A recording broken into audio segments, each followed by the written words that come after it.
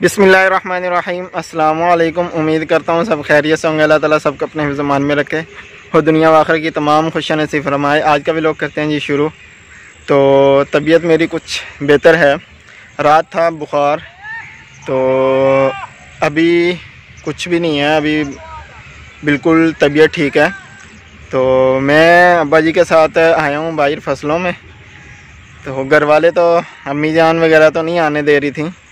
तो बस मेरी ज़िद थी थोड़ी सी कि काफ़ी दिन हो गया था घर में बैठा था तो बोर सा था तो मैंने कहा कुछ बाहर का माहौल देखा जाए। तो बस मैं इधर करूँगा कुछ भी नहीं, क्यों मुझमें वैसे भी इतनी हिम्मत नहीं है कि अभी मैं कुछ काम कर सकूँ। क्यों बुखार ने क्यों बुखार ने वीकनेस ही इतनी कर दी है कि बस क्यों बहुत ज़्यादा था तो अभी कुछ दिल नहीं कर रहा है। करने को तो अब्बा जी के साथ हैं, एक आदमी रखा हुआ है अब्बा जी ने काटने के लिए, वो बस काट देता है और रक्षा वगैरह आता है, उस पर रख के ले जाते हैं। तो मेरी भी वैसे भी इतनी ज़रूरत नहीं है, बस मैं वैसे ही घूमने के लिए आया था कि बाहर का कुछ माहौल देखा जाए। आप दोस्तों को भी साथ दिखाते हैं और मैं भी साथ इंजॉय करता हूँ। ये पहले हमारे वहाँ दूसरी तरफ़ थे। चारा जब मैं पहले एक दफ़ा आया था, वो जोहना जहाँ जहाँ चावल का वो सुखाते हैं फैक्ट्री वाले, उसके साथ था, लेकिन अब आगे इस तरफ़ चारा लिया हुआ है। क्यों? अपना तो अभी तक तैयार नहीं हो रहा है। पता नहीं कब तक तैयार होगा। मैं अभी तक उधर भी चक्कर नहीं लगा। शाम को इरादा है कि उधर भी देखेंगे कि क्या सूरत हाल है। ये आम के पौधे लगे हुए हैं और ये गन्ने की फ़सल लगी हुई है। ये देखें, ये गन्ना है।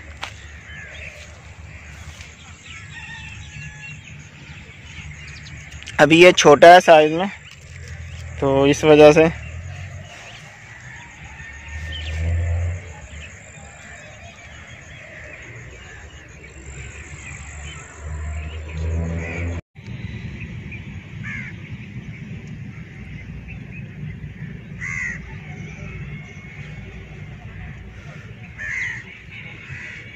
और ये देखें माशाल्लाह कितनी खूबसूरत है, चावल की फ़सल है ये। ये देखें ये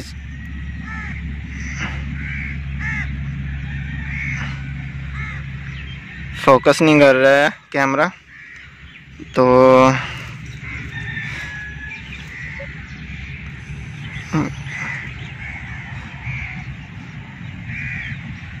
ये है चावल का दाना। जिसमें से निकलता है ये।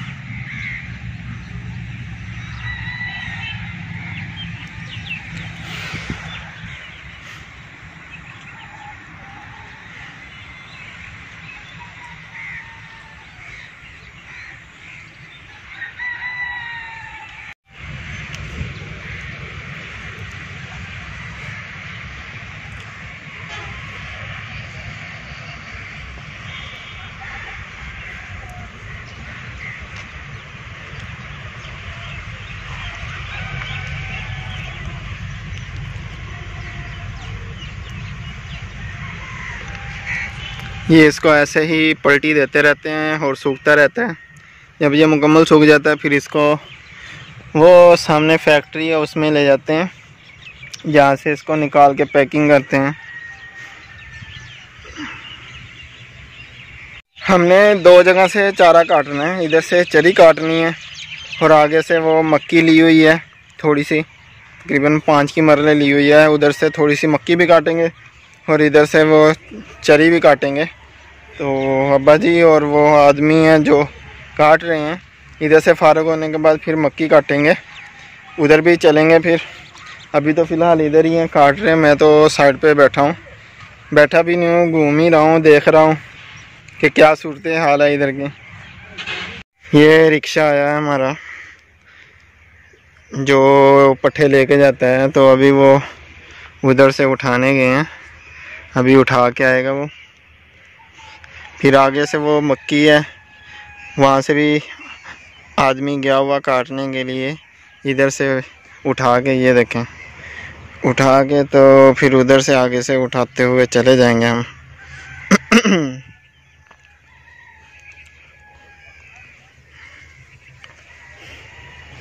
ये सबसे मुश्किल काम है जो उठा के लेके आना। है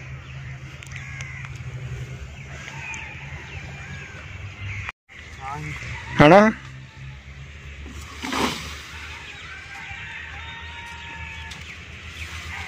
एक खोबा भी है थोड़ा थोड़ा पानी की वजह का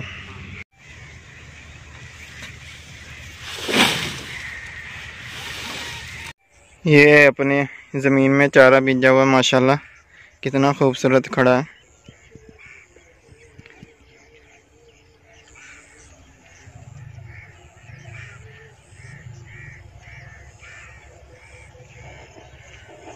अभी तकरीबन असर की नमाज़ पढ़ के मैं इधर अपनी ज़मीन में आया हूँ कि सुबह से तो सोया हुआ था। होश टकाने नहीं थे, मुझे बुखार बहुत ज़्यादा तेज़ था। क्यों सुबह जब हम चारा लेने के लिए गए थे, चारा तो हमने रक्शे में रख के, वो जो रक्षा वगैरह मैंने दिखाया था, उसमें रख के घर भेज दिए थे। क्यों उसको पता है, जहाँ उतारना होता है उसने, क्यों वो रोज़ाना वही आता है। तो उधर से ही अब्बा जान मुझे हॉस्पिटल ले गए। मुझे नहीं पता था कि मुझे हॉस्पिटल लेके जाएँगे। क्यों कल कह रहे थे लेके जाएँगे, कोई टेस्ट वगैरह करवाने थे। बुखार क्यों, जान नहीं छोड़ रहा अभी तक। तो इस वजह से हॉस्पिटल ले गए वहाँ टेस्ट करवाया तो टाइफाइड बताया था उन्होंने। तो डॉक्टर ने एक इंजेक्शन लिख के दिया था टाइफाइड का। बताया था उन्होंने दस दिन, लेकिन मैं आज ही लगा के थक चुका हूँ। क्यों वो जैसे उन्होंने लगाया तो हॉस्पिटल से घर का रास्ता तकरीबन दस से पंद्रह मिनट का है। तो मैं घर पहुँचते पहुँचते ही मुझे घर में पहुँचा हूँ तो मेरा सर से लेके पाँव तक पूरा जिसम सूज चुका था। क्यों वो इंजेक्शन ने कुछ अटैक कर दिया मुझ पर तो उससे मेरे जिसम पे दाने बने, काफ़ी ज़बरदस्त और ख़ारिश इतनी इंतहा की थी जो बर्दाश्त से बाहर थी। मैं एक बार तो पागल सी हालत हो गई थी। क्यों ख़ारिश भी इतनी कर रहा था। परेशान तो मैं भी काफ़ी हुआ हूँ कि मेरे साथ बना क्या है। तो बस वो घर में कुछ दवाई पड़ी थी एलर्जी की। वो मैंने थोड़ी सी खाई और उससे कुछ अफाका हुआ है। तो उसके बाद मुझे जो बुखार हुआ है तो वो बुखार अभी तकरीबन असर से पहले कुछ मेडिसिन खाई मैंने, जिसकी वजह से वो बुखार में कुछ कमी आई है तो मैंने कुछ नमाज़ पढ़ी और फिर मैं बाहर निकलने का कुछ हिम्मत पैदा हुई है। तो बस डॉक्टर ने तो बताया था कि इंजेक्शन दस लगेंगे, दस दिन में, लेकिन तोबा की है कि आंदा से इंजेक्शन नहीं।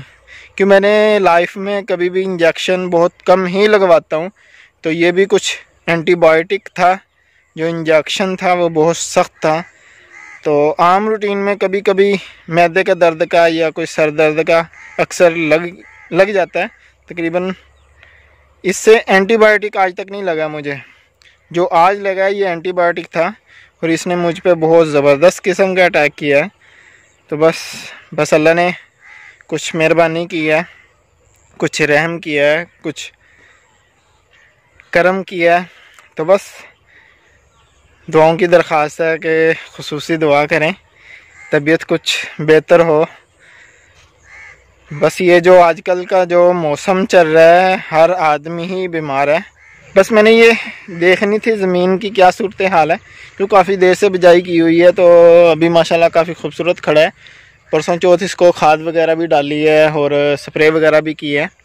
तो अब्बा जान ने दूसरी तरफ़ भी जाना था तो इसीलिए बाइक लेकर जल्दी जानी पड़ेगी। अभी इसीलिए सोच रहा हूँ कि वापस ही चलते हैं।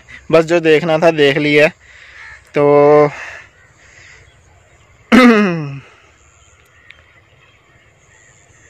अभी बस चलते हैं। क्यों हिम्मत भी नहीं है। ये मोबाइल भी मैंने बड़ी मुश्किल से उठाया हुआ है। क्यों दर्द करते हैं, कंधे, बुखार की वजह से, और अभी भी दर्द शुरू हो चुका है। जैसे थक नहीं जाता इंसान। वीकनेस काफ़ी हो रही है।